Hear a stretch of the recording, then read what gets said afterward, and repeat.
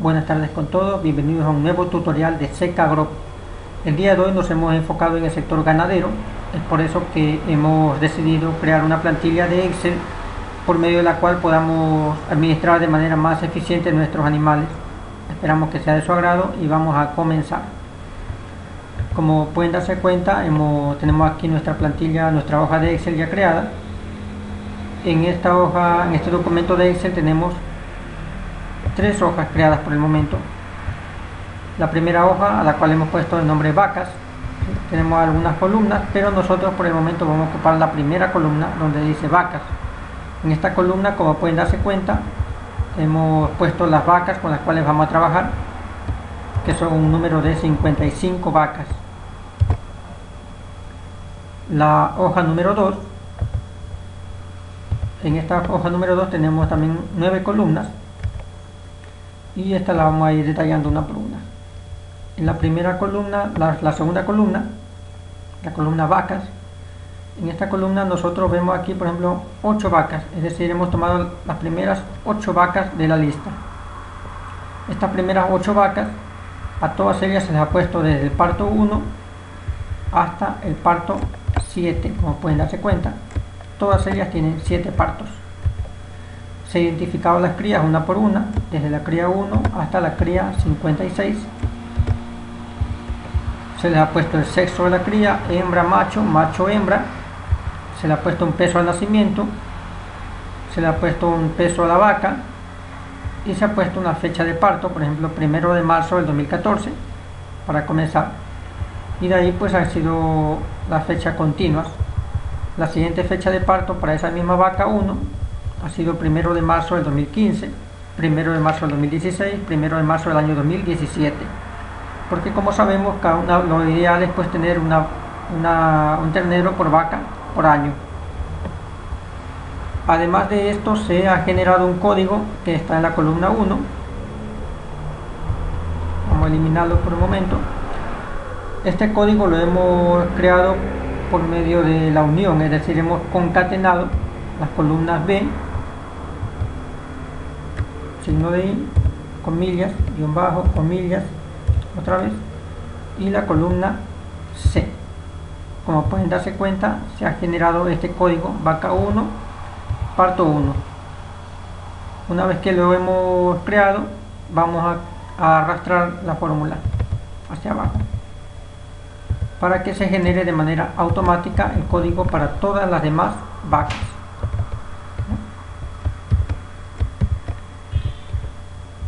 Esto que hemos hecho pues es sencillo, ¿no? Simplemente arrastramos, eh, por ejemplo para la fecha también podemos hacerlo. He puesto la fecha primero de marzo del 2014 y lo que hago es arrastrar la fórmula y se va a copiar las demás fechas a continuación, sin necesidad de tener que estar poniendo una por una. Una vez que hemos rellenado esa hoja, vamos a la tercera hoja, que es la hoja de producción, es decir, los litros de leche que esa vaca está produciendo. Para ello hemos tomado 304 días de lactancia. Como sabemos, la lactancia dura entre 300 y 305 días aproximadamente. Hemos tomado tres vacas, vaca 1, vaca 2 y vaca 3. Todas ellas tienen un solo parto, no se ha puesto más que eso la fecha de producción, la fecha de parto, esa ya está definida acá, simplemente la hemos copiado. Y el número de litros, la producción en litros de leche, se ha puesto desde 8 litros de leche hasta 1, creo que está, si no me equivoco, 1, 2. Es decir, una vaca doble propósito, un productor entre pequeño y mediano. Y acá el código de producción que también se ha generado, vamos a eliminarlo un momento,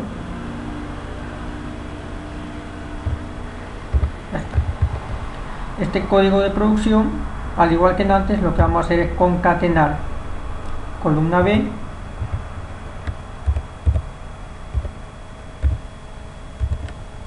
Columna C.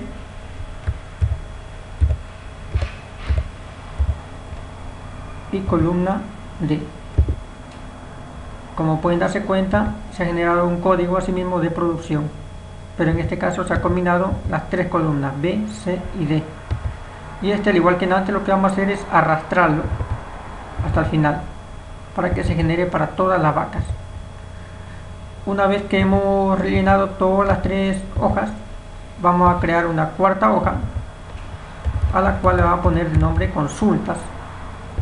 Esta, esta hoja de consultas bueno primero que nada vamos a poner la opción vaca es decir la vaca que yo voy a escoger para analizar sus datos una vez que tengo la definido esta celda la A2 vengo a la opción datos de Excel y vengo acá a la opción validación de datos. Como pueden darse cuenta en esta opción me ha, me ha salido una nueva ventana en la cual yo tengo aquí arriba el criterio de validación. En este criterio de validación yo voy a coger la opción lista. Y acá en origen vamos a darle clic aquí y vamos a coger los datos es decir el origen de los datos con los cuales voy a trabajar. Ya está. Una vez que tenga definidos los datos yo voy a darle a aceptar.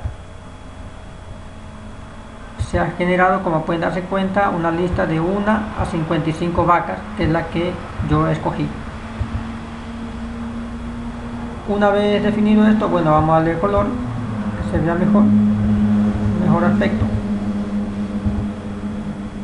Yo quiero saber además queremos saber además cuántos partos tuvo esta vaca 1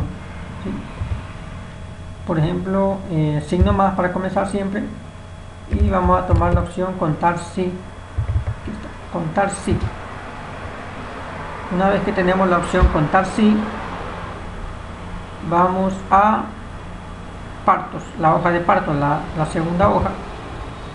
Y vamos a tomar la columna B donde se encuentran todas las vacas. Punto y coma. Y regresamos a la hoja de consultas. Y en la hoja de consultas tomamos la celda B2 esta celda B2 es la que creamos al principio donde se encuentra la lista de todas las vacas. Una vez que tengamos todo ahí cerramos paréntesis y enter y como pueden darse cuenta ya tengo aquí la vaca 1 tiene 7 partos la vaca 2 bueno todas tenían 7 partos así que eso no me va a variar. Aquí estaba no 7 partos para cada vaca.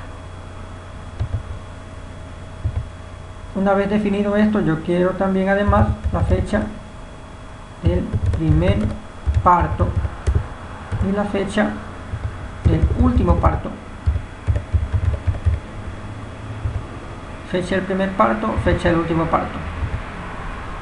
Para poder establecer esto vamos a signo más. Y en este caso vamos a la opción min mínimos. Sí, otra vez paréntesis, vamos a tomar la celda B2, donde se encontraba la lista desplegable, y vamos a poner el signo igual. Una vez con el signo igual, vamos otra vez a la hoja de partos, subamos esto.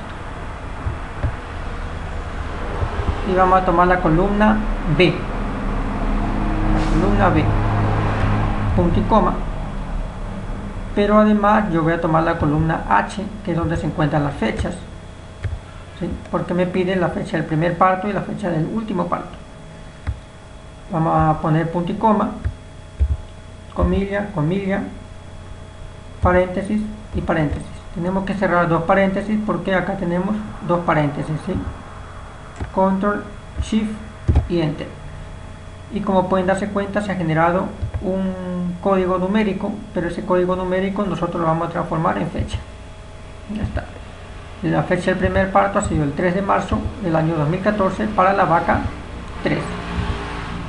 Ahora yo quiero la fecha del último parto. Para eso vamos a max. Otra vez sí. Otra vez paréntesis. La celda B2. Signo igual. Partos columna B, punto y coma, columna H, punto y coma, doble comilla, doble paréntesis, control shift y enter. El proceso es similar, solamente cambia la, la función mínimo de mínimo a máximo. Démosle color a esto también, un cuadrito, y ya está. estos dos datos que yo he sacado me van a servir a mí para tener el intervalo entre partos un indicador que es muy importante en ganadería yo quiero saber cuánto tiempo pasó de un parto al otro parto de la vaca.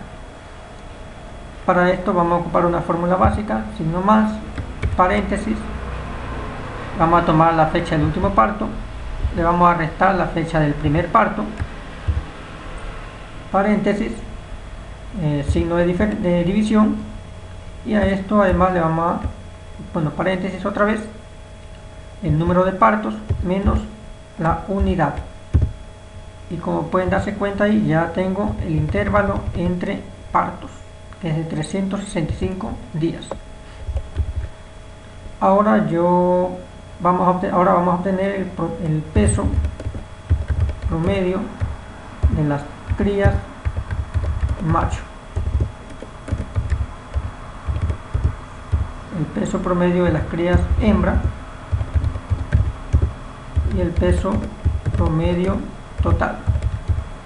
Estos tres indicadores.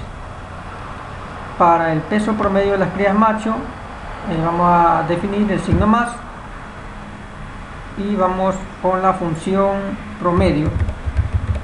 Promedio sí conjunto. Promedio sí conjunto.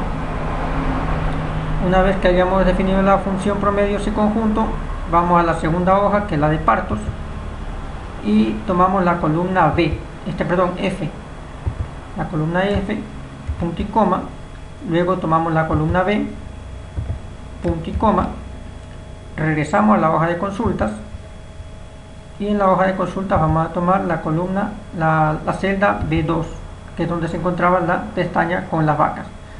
Vamos a, esta, a fijar esta, esta hoja, esta celda B2 con F4. Ese F4 me permite a mí estabilizar esa, esa celda que no se mueva ni para arriba ni para abajo. Punto y coma. Y otra vez regreso a la hoja de partos y en este caso yo voy a coger la columna de el sexo yo cojo la columna del sexo porque recordemos que quería el peso promedio de las crías macho una vez que cogido la columna punto y coma comillas la m de machos punto y coma cierro y cierro paréntesis. Control shift y enter.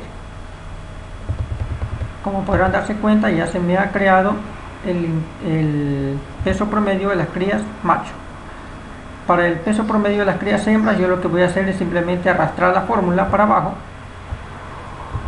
Como pueden darse cuenta ahí está pero a diferencia de la fórmula anterior yo voy a venir acá al final y le voy a cambiar la letra M por H. Control shift y enter.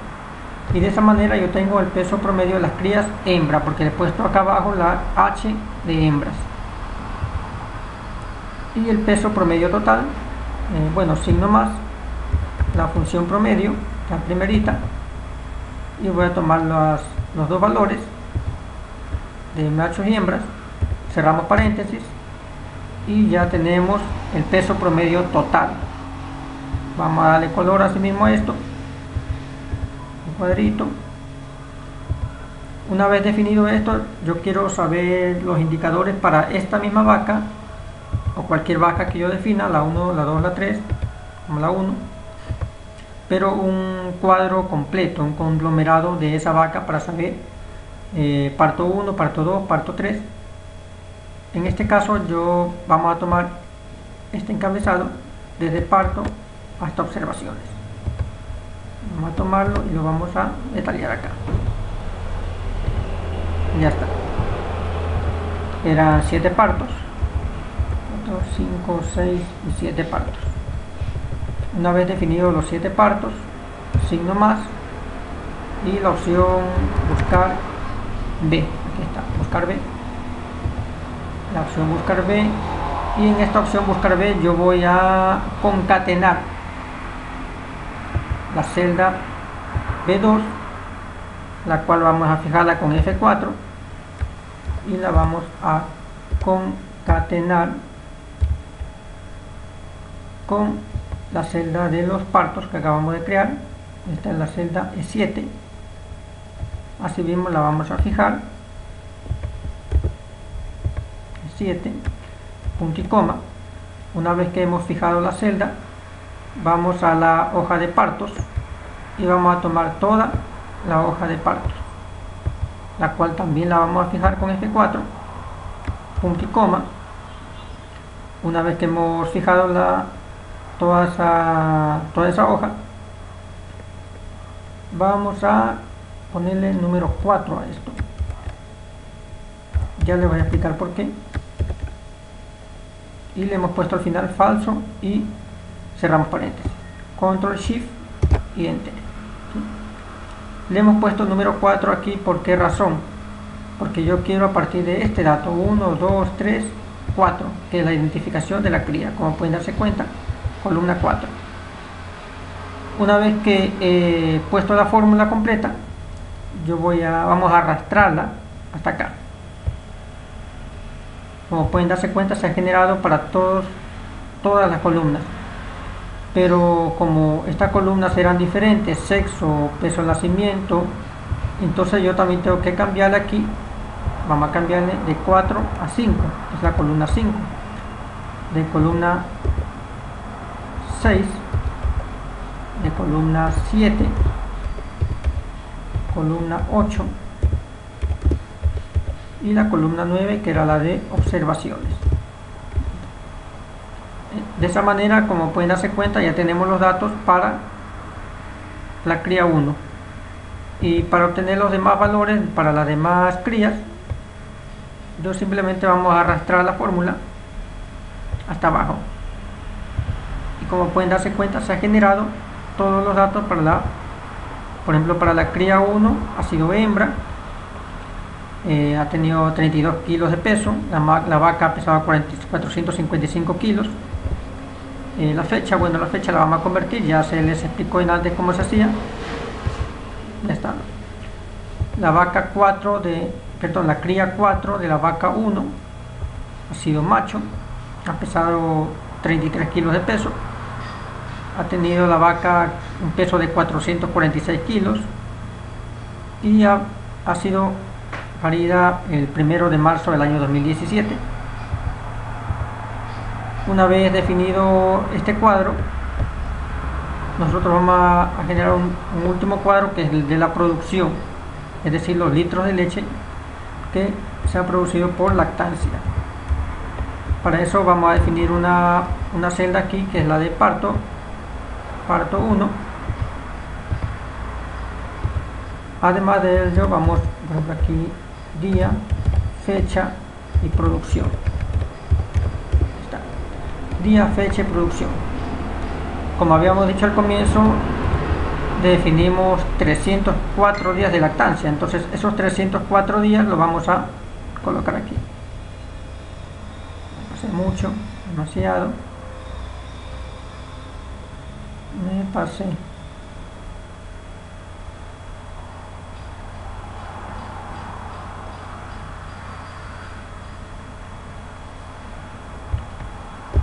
ahí está. 304 días de lactancia. Acá tenemos la fecha. Esta fecha nosotros la vamos a definir con bueno signo más y la función buscar b. Función buscar b. Con esta función nosotros vamos a concatenar esta celda B2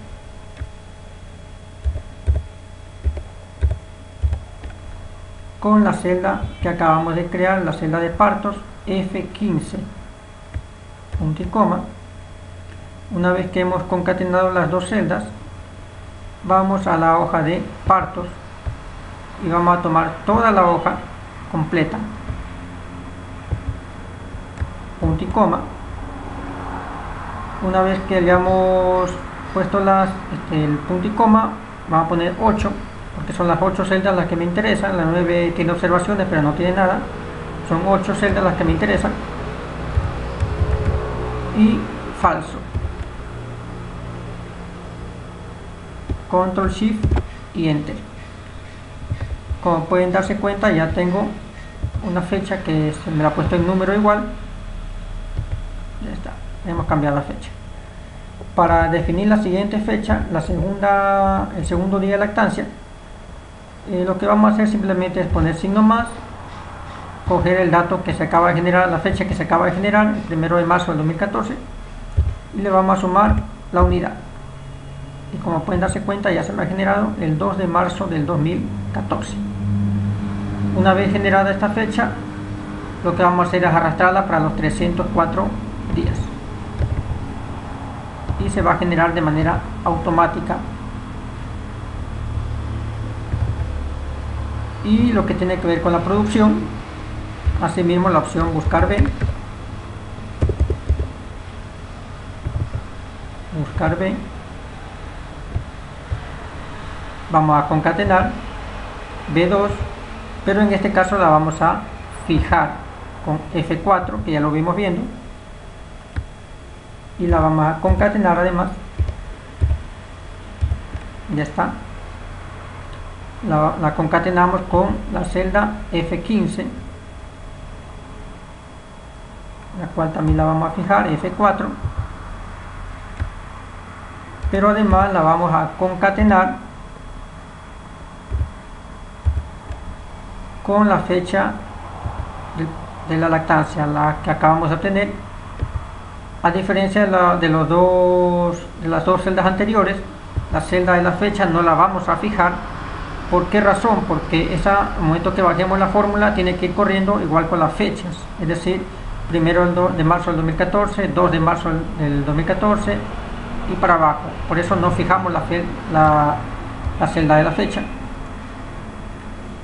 Una vez que tengamos la celda de la fecha le ponemos punto y coma y en este caso vamos a tomar ahora la hoja de la producción y tomamos asimismo toda la hoja de la producción punto y coma.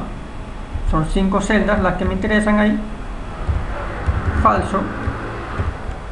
Cerramos paréntesis. Control shift y enter. Y como pueden darse cuenta yo tengo eh, la la primera lactancia de esa vaca que son 8 litros.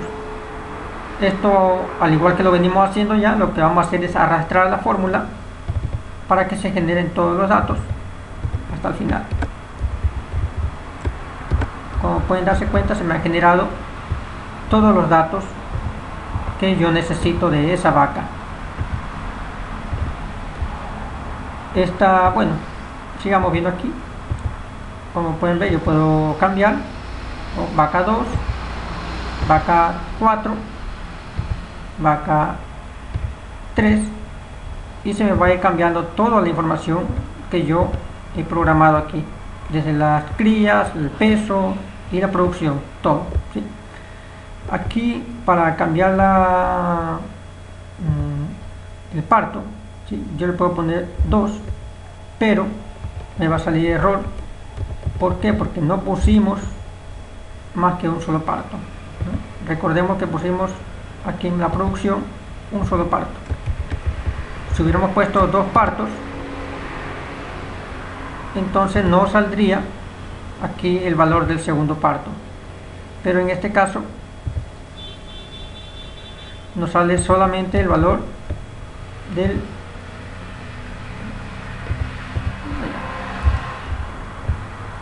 en este caso nos sale solamente el valor de la del un solo parto eh, no sé esperamos que, sea, que haya sido de su agrado que les haya gustado el tutorial y si les ha gustado pues obviamente le, dan me gusta a la, a la publicación y se pueden suscribir a mi canal en youtube Seca